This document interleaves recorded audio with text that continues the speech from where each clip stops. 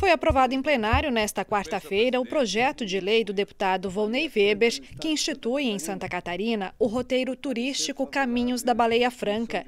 A ideia do parlamentar é fomentar a atividade econômica que envolve o turismo de observação da baleia franca nos municípios de Laguna, Imbituba e Garopaba, no litoral sul de Santa Catarina. Dando visibilidade através das plataformas de governo o roteiro. Quando você cria um, cria um roteiro, você divulga aonde existe esse equipamento ou existe esse espaço aonde a baleia no nosso estado ela permanece por um bom período, né, oportunizando a apreciação e tudo mais. Então, tão logo criado o roteiro, por lei, fica estabelecido, o governo tem como inserir na plataforma de governo os, nos roteiros é, é, e dos equipamentos turísticos do nosso estado.